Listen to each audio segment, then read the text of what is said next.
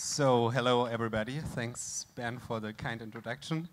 Um, the slides, please, to start with them. Oh, yeah, and that is also important.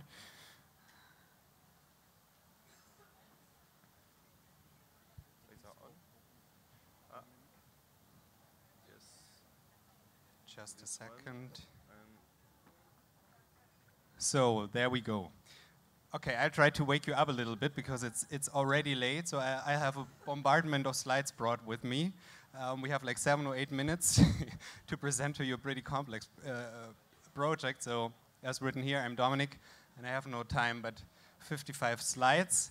Um, I want to talk to you about my little baby we are we are we are having for two uh, two two years now. It's called Open State. It might look something like that in autumn this year, close to Berlin.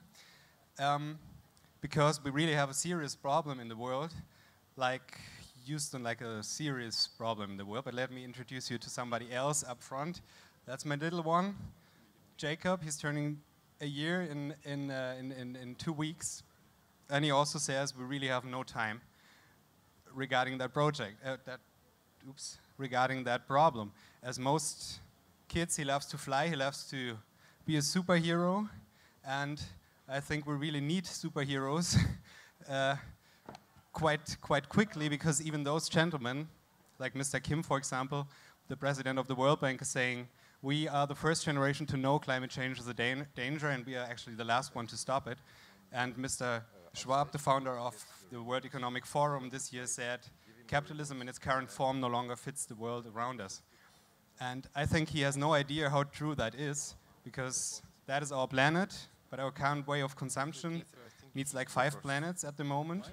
We are consuming resources as if we would have five uh, uh, planets and the power of, of, of nature to redo the, stuff we, we use. This is an animal, that's an extinct animal. These are five extinct animals, obviously, so that is what will be extinct after I left the stage again during that short time period. So 270 extinct animals per day at the current rate, which made 75,000 per year. Most of them we don't even know.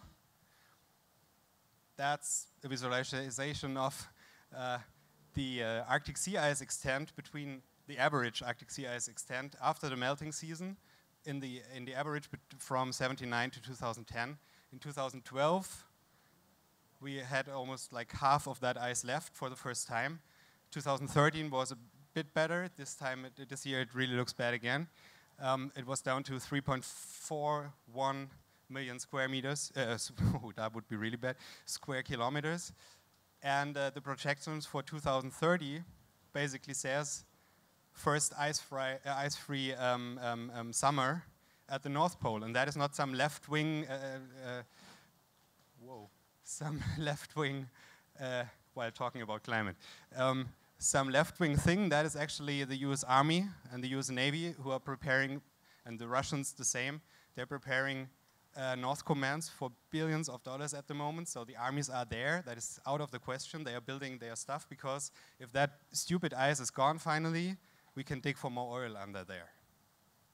So to sum that up, um, our current way of consumption and ba basically of, of, of, of living in our societies is no longer sustainable and we are, we're coming to the, to the borders of what is possible within that planet, planet an infinite growth and an, in, in, in, a, in a, on a planet with finite uh, resources is in itself obviously a problem. So to come back to my little one, what did you do when you knew? So that is the question I really fear actually and if you have kids you might at some point in your, in your, in your lifetime get that question straight to your face too. Um, well, the plan behind Open State is, as said from, from Ben before, building a small cell of a truly sustainable society. We start there because we are not politicians, we are not CEOs of huge companies or something, we're just average citizens. We're trained designers and communicators. And um, yeah, we think we could add something to building alternatives um, if we create solutions on an open source uh, basis solutions that uh, do things differently than most consumption tools, uh, most consumption uh, goods at the, at the moment are functioning. And our role would be tell a story of hope, not of fear, show that that can be fun and that there's a different possible uh, uh, way, and multiply that like crazy. So to, to go a little bit deeper, what is, this, what is this smallest cell of a sustainable society? What do we need? We need shelter, obviously. We need to live somewhere. We need water. We need to drink. We need energy. We need mobility. That's a small shout out to Wikispeed again that you saw before. Not necessarily individual mobility, but mobility. Um, we need communications probably, and we need to, to eat. So that are the five uh, areas we want to focus on for the beginning. Um, and yeah, we want to research those. We want to build those, prototype those, make them tangible, make them visible for the world. And then we want to enable others to fork, like in the open software, obviously. Take what we build, make it better, adapt it to local needs, use, in best case, use recycled materials, upcycling, up, upcycling um, adapt it to their, to their climate zones, to their use cases, to their budgets. Um, and yeah, we are lucky enough that all of those projects are basically built around the world. You saw some before here on stage, you saw others over in the factory that might become part of something um, like we plan with the Open State. So the Open State will gather open source projects working on those five domains, on alternative solutions. Um, we hope for like 10 projects for the first five week camp. Um, and hope to build a kit, like Kit Kit, uh, and as said, we are the communicators, we are the, we are the designers. So our addition to all that will be, so that is, that is the plan with the whole camp, why we do that, um, trying to build a different narrative, and for that you need pictures. That is how media works. You need stories and you need strong pictures. It can't stay in the nerdy uh, in the nerdy niche, which most most of the projects are today. It's all it's all great that that work is done, but my mom never heard of that you know?